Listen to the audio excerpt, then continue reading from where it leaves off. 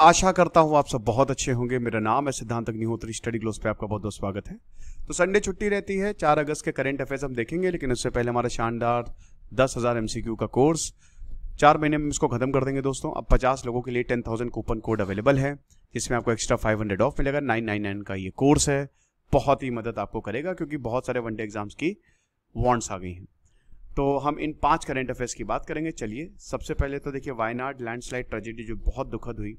कितने लोग मारे गए पेपर थ्री के लिए? सुपर इंपॉर्टेंट है। याद रखिएगा कि जो जो वायनॉड है, भयानक केरल में आता है, एक टूरिस्ट प्लेस है, भयानक हमको बारिश यहाँ पे देखने को मिली। और पूरा वेस्टर्न घाट्स एकदम बहुत ही बारिश होती है, क्योंकि देखिए, ये इस समय ला नीना चल रहा है, बारिश वैसे भी ज़्यादा हो रही है। तो इसी वजह से लैंडस्लाइड होगी। अब जो लैंडस्लाइड हुई रेस्क्यू काम जारी है, ये बताता है कि भाई देखिए अगर आप हद से ज़्यादा कंस्ट्रक्शन करेंगे, बहुत ज़्यादा टूरिस्ट फ्रेंडली चीज़ें बनाएँगे तो प्रॉब्लम होगी। गाडगिल कमेटी, कस्तूरी रंगन कमेटी जो 2011 में बनी थी, उसने बोला था कि वेस्टर्न घाट्स में इतना ज़्यादा कंस्ट्रक्शन ना करें इको सेंसिटिव जोन है।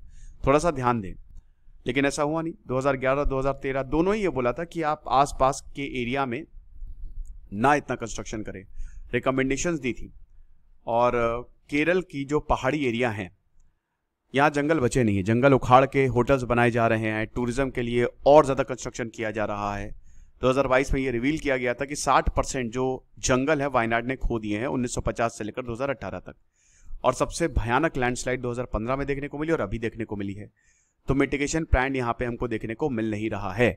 एक तरीके से जो निक्सस है माफियाओं का पॉलिटिशियंस का, जो अथॉरिटी जिस तरीके से यहाँ पे बाईपास की जाती हैं तो ये खतरनाक है। मेट ने बोला है कि और ज़्यादा लैंडस्लाइड हो सकती है अगर इन एडुकेट मेजर नहीं लिए गए। तो बहुत ज़्यादा ज़रूरी है कि जो राज्य सरकार है वो प्रॉपर एक्शन ले। और ये जो अनरेगुलेटेड डेवलपमेंट है, ये, इसको यू नो कर्व करें। तो कंक्लूजन यही है कि एक वार्निंग है। थोड़ा सा सही हो जाओ। कायदे में रहेंगे तो फ़ायदे में रहेंगे, वरना बहुत बड़ी प्रॉब्लम हो सकती है। Anti conversion law paper one के लिए सुपर इंपॉर्टेंट है बीजेपी उत्तर प्रदेश इसको इंट्रोड्यूस करने वाली है। कि भैया जो धर्म परिवर्तन है, एक तो लव जिहाद भी इसमें होगा। 2021 का अमेंडमेंट है ये, जो ये लॉ लाया था prohibition of unlawful conversion of religion act 2021 अब ये शायद आसाम भी लाने वाला है। तो इसमें यही है कि जो शेड्यूल कास्ट और शेड्यूल ट्राइब्स है, जिनके लिए अभी भयानक मतलब ज़बरदस्त डिसीज़न भी आया था कोर्ट का, कि अब इसमें भी हम सब क्लासिफिकेशन करेंगे। तो इनको प्रोटेक्ट करने के लिए ये लॉ लाया गया है। ठीक है ना? क्योंकि आमतौर पे जो गरीब होते हैं, इनको लालच दे के धर्म परिवर्तन जो है वो करा दिया जाता है तो ऐसा नहीं है।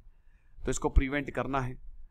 तो अब जुडिशियल कंस्ट्रक्ट की बात करें तो justice Rohit Ranjan Agarwal, Allahabad high court ने इन्होंने बोला कि देखिए unlawful conversion specially S C का बहुत ज़्यादा है।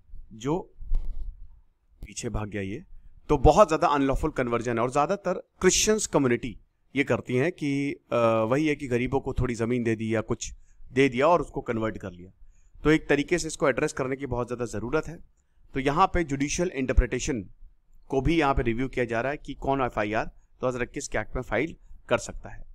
तो इसमें एफ़ आई आर है कि ओरिजिनल प्रोविज़न में यही है कि जो एफ़ आई आर है, वो रिलेटिव ही फ़ाइल करेगा।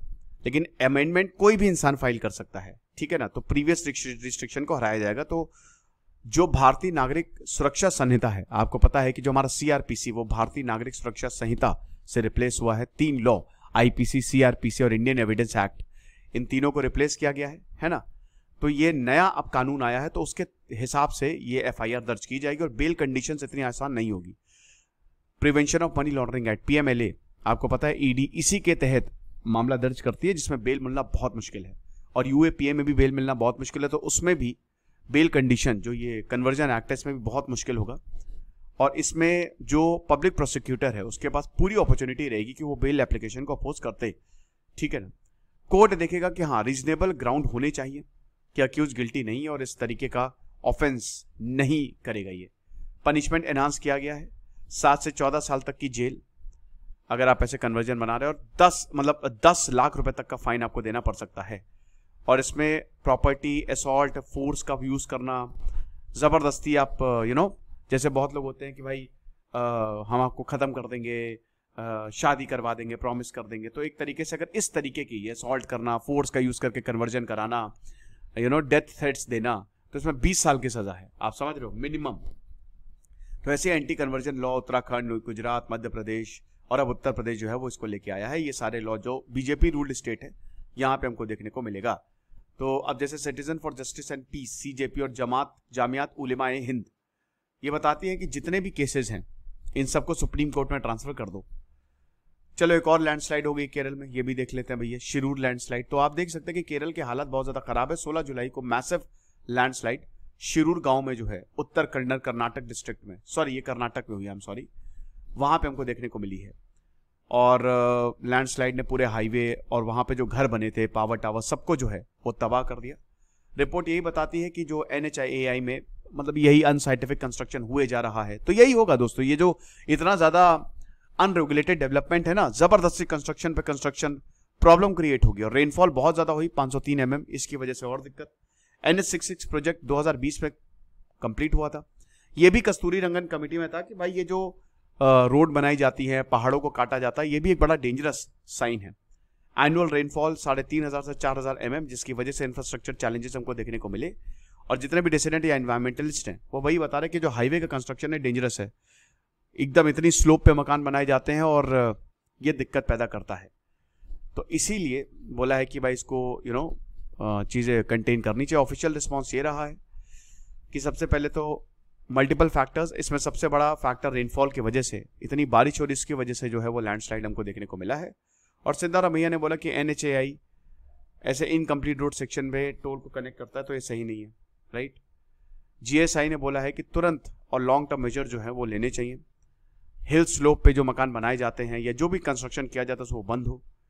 एक जियो टेक्निकल इन्वेस्टिगेशन होना चाहिए। और सबसे बड़ी बात वाटर इंजीनियरिंग प्रोटोकॉल्स को फॉलो करना बहुत ज़्यादा ज़रूरी है। इन्वायरमेंटल कंस्ट्रक्शन यही कंस्ट्रंस यही है कि जो इन्वायरमेंटलिस्ट और लोकल जर्नलिस्ट हैं, इसमें यही है कि बहुत ज़्यादा ज़रूरी है कि पूरा असेसमेंट हो। और you know rain prone area है Uttar Kannada district vertical cutting जो हिल्स की वर्टिकल कटिंग और पुअर वाटर मैनेजमेंट ये ना हो। इन सब चीज़ों को यू नो देखा जाए। उसके बाद फेडरलिज्म का जो इशू है, ये हम देख लेते हैं। पेपर टू के लिए सुपर इंपॉर्टेंट है। सेंटर यही कह रहा है कि भाई, देखिए प्रोएक्टिव रहिए। स्टेट कॉन्फ्लिक्ट ज़्यादा हो रहे हैं। सेंटर ने ये कहा है गवर्नर्स को कि थोड़ा सा सोशल मीडिया पे एक्टिव रहे। इट इज़ वेरी इंपॉर्टेंट और गवर्नर्स जो हैं, वो वही है कि भाई पब्लिक और पब्लिक से ज़्यादा मतलब एक तरीके से उनको इनकरेज किया जा रहा है कि देखिए, आपके राज्य में या कहीं पे भी पब्लिक जो है वो सबसे इंपॉर्टेंट रहती है तो लोगों से कनेक्ट रहिए, अपने व्यूज़ जो है वो शेयर करते रहिए। डिफरेंस नहीं होना चाहिए एक तरीके से, ठीक है ना? तो जितनी भी सेंट्रल एजेंसी है, उससे प्रॉपर तरीके से कोऑर्डिनेट करिए, ताकि सब कुछ ठीक से हो। Job generation education skilling service और ग्रोथ पे आप थोड़ा सा कॉपरेशन करिए और कोऑर्डिनेट करिए यहाँ पे। तो गवर्नर्स की दो दिन की कॉन्फ्रेंस थी जो प्रेसिडेंट हमारी द्रौपदी मुर्मू, उन्होंने इसको कन्वीन किया। और vice president prime minister union minister senior officials हर जो, हर किसी ने इसको अटेंड किया। और एजेंडा आइटम यही था कि जो तीन क्रिमिनल लॉ भी आए हैं, उनको तुरंत इंप्लीमेंट किया जाए हायर एजुकेशन में रिफॉर्म फिर जो ट्राइबल एरियाज़ और एस्पिरेशनल डिस्ट्रिक्ट है, उनको डेवलप करना। गवर्नर जो है वो इन सारे इश्यूज़ को देखिए और ध्यान दें इन सब पे राइट और कोऑर्डिनेशन और इंगेजमेंट होना चाहिए, ये बहुत ही ज़्यादा ज़रूरी रहेगा राज्यों और सरकारों के बीच में।